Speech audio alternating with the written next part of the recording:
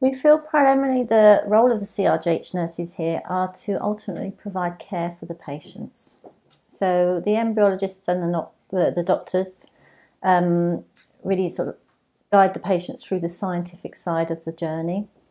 Um, obviously, as a business, we like to provide um, value for money, but the nurses here is really to have that personal, caring relationship with their patients. Um, our registered nurses, or we call them the nurse coordinators, they will see the patient right through their journey from start to finish. So often the patient will come and have their initial consultation with their consultant and discuss the treatment, and then once the treatment is decided, the patient will see their nurse. The nurse will go through everything that they need to know about the treatment with them. So they will discuss the consent forms and inform the patients about the legalities of informed consent and the importance of accurately completing the consent forms for fertility treatment. Um, they will then go through the screening tests required um, for their treatment.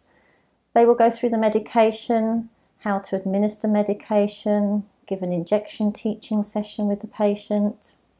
We will then organise their medication with our, our co um, company Healthcare at Home so they can get a home care delivery of the medication they require.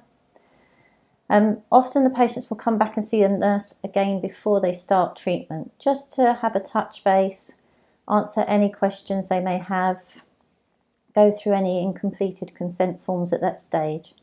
So by the time they're ready to start their treatment, they can focus on the, the treatment in hand.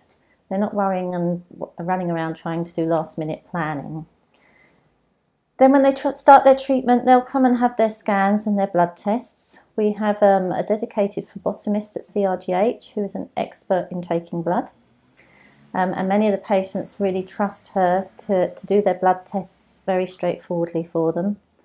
Um, again, they can see their nurses during their treatment cycle. It may be questions about medication, about how the treatment is going, how they're feeling. Um, often just to say hello and how are you and how are you getting on. Um, then they'll come in and have their egg collection, and that's done in the theatre. And again, with our theatre nurses here, they're all specialised in theatre nursing and particularly fertility th- theatre nursing. Um, and then again, they'll come and see the nurse when they do their pregnancy test. And hopefully, when it is good news and the test is positive, the nurse again will sit with the patients. They will go through everything about the, the pregnancy and um, looking after themselves, again, about the medication and the protocols and the regimes that they need to adhere to to keep themselves healthy through early pregnancy. We'll book their appointments for them um, and then give them the information on how to access their NHS antenatal care.